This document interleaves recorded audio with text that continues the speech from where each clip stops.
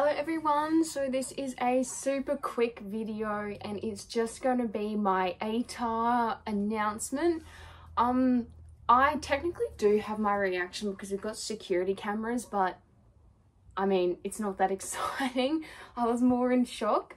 So first I will tell you what my exam scores were and my overall scores and then I will tell you what my ATAR is. So this is Queensland by the way.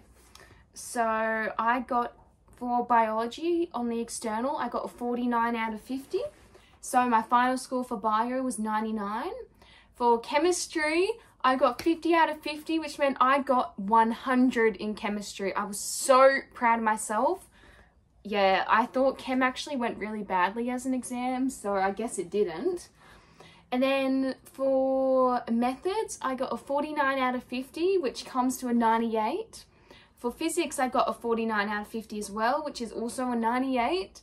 And for specialist, I got a 49 out of 50 and my final score was a 97.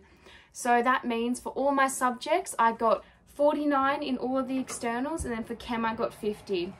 And now for the big reveal this year, uh, sorry, you can tell I'm really excited about this, especially because the whole rural thing.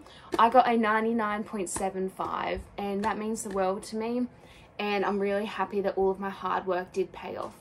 So thank you and congratulations on your ATARs if you're year 12 this year and good luck for next year if you're year 11 or younger.